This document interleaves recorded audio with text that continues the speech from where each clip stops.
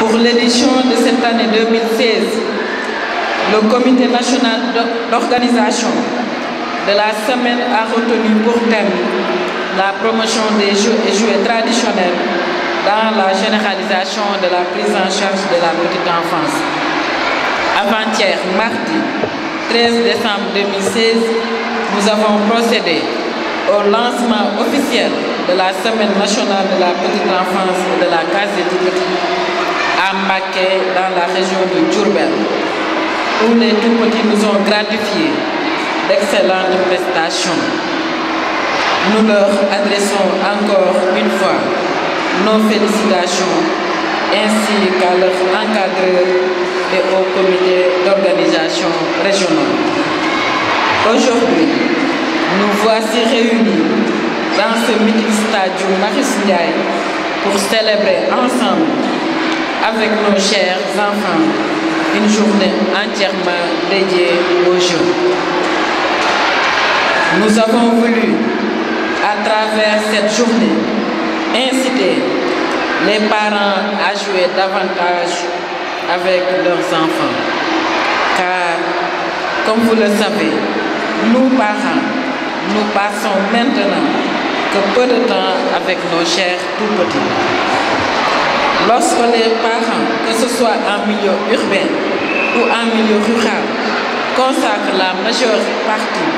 de leur journée quotidiennement, semaine après semaine,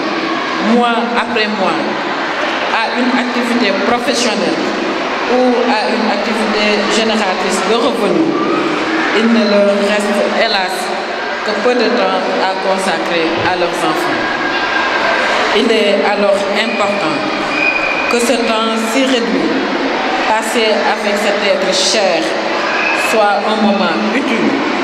pour le parent comme pour l'enfant. C'est à nous parents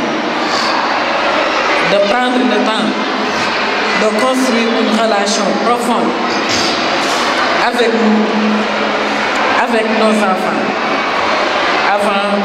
que ces derniers ne s'intéressent à la télévision, comme nous mettait si justement en garde le docteur Soubiro Chossi, éminent spécialiste japonais de la petite enfance. Toute sa vie durant, le docteur Chossi n'a cessé de promouvoir une méthode d'éducation basée sur la fabrication à la main des jouets, réalisés ensemble par le parent et l'enfant jusqu'à l'âge de 3 ans. Convaincu du caractère crucial de l'éducation dès la prime enfance, lui qui défendait l'idée selon laquelle le succès ou l'échec d'une vie est décidé à l'âge de 3 ans. À travers les plateaux de jeu installés pour les enfants de 0 à 2 ans qui sont là avec leur maman, pour les enfants de 2 à 3 ans et pour les enfants de 3 à 4 ans, encadrés par les conseils familiales et par les animateurs polyvalents, nous avons voulu montrer que les enfants apprennent à s'exprimer, à expérimenter, à construire des connaissances, à interagir avec les autres et à tenter de résoudre leurs problèmes. Bref, à tout faire en jouant. Ceci prouve le jeu que le jeu a une fonction de développement et peut être utilisé à des fins pédagogiques. D'ailleurs, ne dit-on pas aux préscolaires que tout passe par le jeu Chers invités, conscients de, jeu, de cet enjeu, cette journée est l'occasion à l'endroit des communautés et surtout des parents qui sont les premiers éducateurs de démontrer et d'expliquer l'importance et l'intérêt du jeu dans le développement du tout petit, notamment son apport sur le développement cognitif, psychomoteur et socio-affectif de ce dernier. Cette journée du jeu offre aussi l'occasion d'inciter les animateurs polyvalents et les éducateurs préscolaires à améliorer et à renforcer qualitativement la pratique du jeu dans les structures DITE. Les jeux collectifs permettent à l'enfant d'acquérir et d'exprimer son contrôle de soi grâce à l'ordre successif de passage et développe la patience, l'entraide et la solidarité. Les jeux d'obstacles apprennent à l'enfant à se surpasser et renforcent sa confiance en soi. Les règles du jeu que l'enfant apprend à respecter grâce à l'encadrement et au conseil des adultes participent à la socialisation car il est appelé à vivre et à grandir dans un monde régi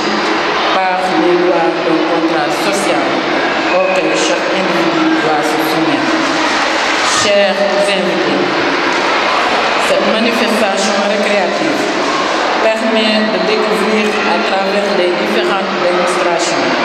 que pour apprendre, les enfants ont besoin de jouer. Et c'est là où réside tout l'intérêt d'organiser une telle journée au jeu, dédiée au jeu. Il est alors important que l'enfant s'affirme par le jeu et puisse rêver en jouant, quelle que soit sa situation et quel et quels que soient les moyens dont disposent parents. C'est à nous, adultes, enseignants, communautés, collectivités locales, autorités gouvernementales, d'œuvrer à faire en sorte que chaque enfant puisse s'exprimer à travers le jeu. Pour toutes ces raisons, il est alors important de faire du jeu et du jeu des éléments d'intégration sociale, de redonner aux jeux et aux jouets la place qu'ils méritent dans l'éducation de l'enfant, au sein de la famille, dans les relations parents-enfants, éducateurs-enfants, de disposer du jeu et des jouets de qualité qui stimulent la capacité de voir, d'écouter, de percevoir en un mot qui contribue à l'épanouissement des petits. En effet, plus les jeux sont intéressants pour les enfants, plus ils sollicitent leur développement social et intellectuel. Selon les experts de la petite enfance, un enfant ne deviendra grand que s'il a été enfant. Mais un enfant à a été offerte une opportunité de faire du jeu son métier et du jouer son métier. Chers invités, durant cette journée du jeu, nous avons pu découvrir notre riche patrimoine culturel national, revisité à travers les jeux traditionnels déroulés avec les enfants de moins de 3 ans et de 3 à 5 ans, mais aussi des jeux modernes une manière de placer aussi cette manifestation le signe de l'enracinement et de l'ouverture, qui est un principe prôné dans le document national de développement intégré de la petite enfance, dont le Sénégal s'est doté depuis 2004.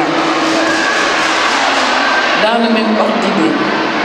la deuxième directive présidentielle issue du Conseil présidentiel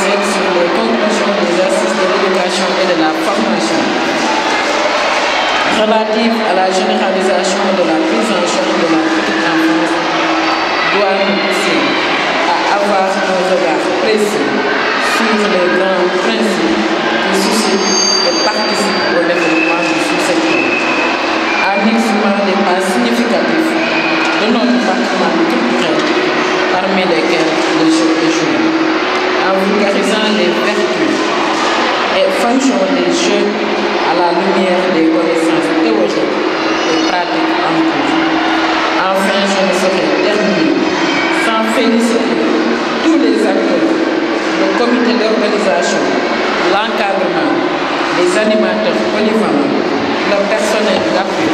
les comités de gestion des structures des les parents d'élèves, les partenaires de la petite enfance et tous ceux qui ont contribué à la réussite